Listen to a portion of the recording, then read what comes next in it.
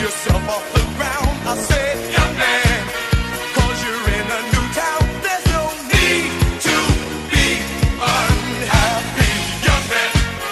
There's a place you can go. I said, young man, when you're short on your dough, you can stay there. And I'm sure.